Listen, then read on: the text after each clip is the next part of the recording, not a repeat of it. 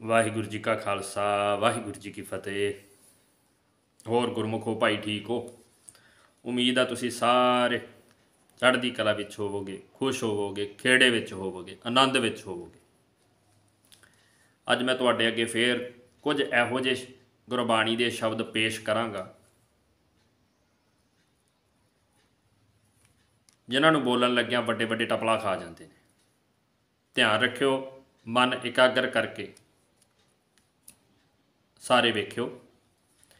ਜਿਹੜਾ ਉੱਪਰ ਸ਼ਬਦ ਦਿੱਤਾ ਹੋਊਗਾ ਸਕਰੀਨ ਦੇ, ਉਹ ਗੁਰਬਾਣੀ ਦਾ ਉਹ ਰੀਅਲ ਸ਼ਬਦ ਹੋਵੇਗਾ ਤੇ ਜਿਹੜਾ ਬ੍ਰੈਕਟ ਵਿੱਚ ਹੇਠਾਂ ਦਿੱਤਾ ਜਾਏਗਾ, ਉਹ ਸ਼ਬਦ ਜਿਵੇਂ ਬੋਲਣਾ ਹੈ, ਉਵੇਂ ਦਿੱਤਾ ਜਾਵੇਗਾ।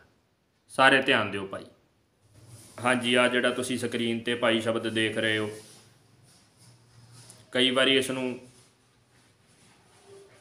ਨਾ ਸਮਝ, ਬੰਦੇ ਵਿ- ਵਿਕਰਮ ਬੋਲ ਜਾਂਦੇ ਨੇ। ਵਿਕਰਮ। ਪਰ ਇਸ ਨੂੰ ਵਿਕਰਮ ਨਹੀਂ ਬੋਲਣਾ। ਇਸ ਨੂੰ ਬੋਲਣਾ ਹੈ ਵਿਕਰਮ। ਇਹ 105 ਅੰਗ ਤੇ ਗੁਰੂ ਸਾਹਿਬ ਦੇ ਆਪਾਂ ਦਰਸ਼ਨ ਕਰਦੇ ਹਾਂ ਸ਼ਬਦ ਦੇ। ਸਾਕਤ ਸੰਗ ਵਿਕਰਮ ਕਮਾਏ। ਇਹ ਵਿਕਰਮ ਬੋਲਣਾ ਹੈ। ਵੇ ਕਰਮ ਵੀ ਨਹੀਂ ਕਹਿਣਾ, ਵਿਕਰਮ। ਸਾਕਤ ਸੰਗ ਵਿਕਰਮ ਕਮਾਏ। ਆ ਜਿਹੜਾ ਤੁਸੀਂ ਸ਼ਬਦ ਦੇਖ ਰਹੇ ਹੋ ਇਹ ਸਤਿਗੁਰੂ ਜੀ ਦੇ 138 ਅੰਗ ਤੇ ਹੈ। ਇਸ ਸ਼ਬਦ ਨੂੰ ਬੋਲਣ ਲੱਗਿਆਂ ਕਈ ਵਾਰੀ ਕਈ ਲੋਕ ਟਪਲਾ ਖਾ ਜਾਂਦੇ ਨੇ, ਬਾਲਤਨ ਬੋਲ ਜਾਂਦੇ ਨੇ ਜ਼ਿਆਦਾਤਰ, ਬਾਲਤਨ। ਪਰ ਲੱਲੇ ਉੱਤੇ ਪਿਆਰਿਓ ਅਧਿਕ ਲੱਗਣੀ ਹੈ, ਇਸ ਨੂੰ ਬੋਲਣਾ ਹੈ ਬਾਲਤਨ। ਕੀ ਬੋਲਣਾ ਹੈ? ਬਾਲਤਨ।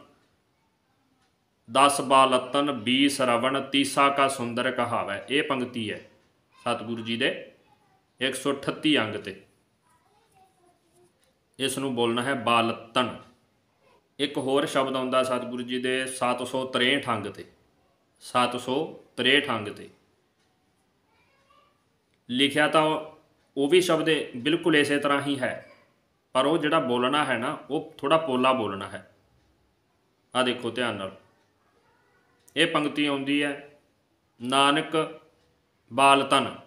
ਇੱਥੇ ਬਾਲਤਨ ਬੋਲਣਾ, ਬਾਲਤਨ ਨਹੀਂ ਕਹਿਣਾ। ਬਾਲਤਨ, ਨਾਨਕ ਬਾਲਤਨ ਰਾ ਡੇਪਾ, ਬਿਨ ਪਿਰ ਧਨ ਕੋ ਮਲਾਣੀ ਦੁਬਾਰਾ ਫੇਰ ਸੁਣੋ, ਨਾਨਕ ਬਾਲਤਨ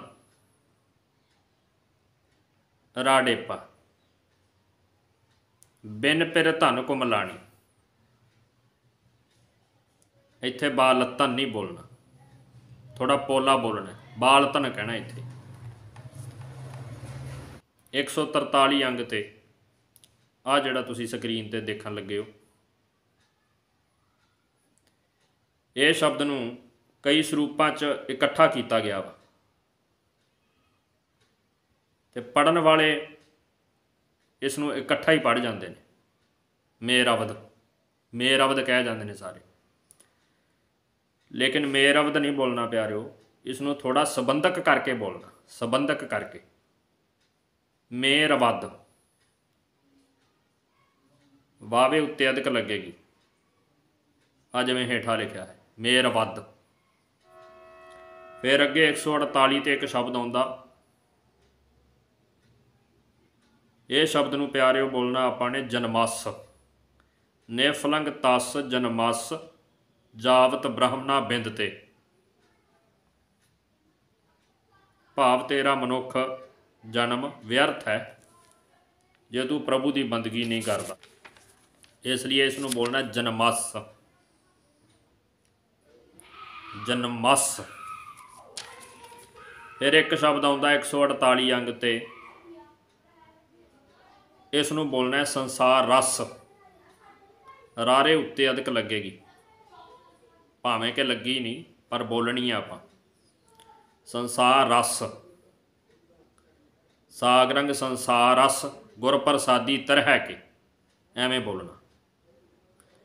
ਭਾਵ ਕਿ ਗੁਰੂ ਦੀ ਕਿਰਪਾ ਨਾਲ ਇਹ ਸੰਸਾਰ ਸਮੁੰਦਰ ਤਰਿਆ ਜਾ ਸਕਦਾ ਹੈ। ਉਹਦੀ ਕਿਰਪਾ ਤੋਂ ਬਿਨਾਂ ਨਹੀਂ। ਸੋ ਇੰਨੇ ਕ ਜਿਹੜੇ ਗੁਰਬਾਣੀ ਦੇ ਟਫ ਸ਼ਬਦ ਨੇ, ਇਹ ਤੁਸੀਂ ਆਪਣੇ ਧਿਆਨ ਵਿੱਚ ਰੱਖਣੇ ਨੇ। ਇਹਨਾਂ ਦਾ ਸੁੱਧ ਉਚਾਰਨ ਕਰਨਾ ਹੈ। ਹੌਲੀ ਹੌਲੀ ਆਪਾਂ ਹੋਰ ਵੀ ਜਿਹੜੇ ਔਖੇ ਸ਼ਬਦ ਨੇ, ਆਪ ਜੀ ਵਾਸਤੇ ਲੈ ਕੇ ਆਵਾਂਗੇ। ਇੰਨੀ ਕੁ ਹਾਜ਼ਰੀ ਪ੍ਰਵਾਨ ਕਰਨੀ। ਚੈਨਲ ਸਬਸਕ੍ਰਾਈਬ ਕਰੋ। ਹੋਰ ਸੰਗਤਾਂ ਨੂੰ ਵੀ ਸ਼ੇਅਰ ਕਰੋ, ਤਾਂ ਜੋ ਤੁਸੀਂ ਆਪ ਵੀ ਲਾਹਾ ਲਓ ਤੇ ਹੋਰ ਸੰਗਤ ਵੀ ਲਾਹਾ ਲੈ ਸਕੇ। ਵਾਹਿਗੁਰੂ ਜੀ ਕਾ ਖਾਲਸਾ। ਵਾਹਿਗੁਰੂ ਜੀ ਕੀ ਫਤਿਹ।